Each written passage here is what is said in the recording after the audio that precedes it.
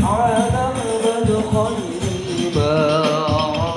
البلدان فجاء حديث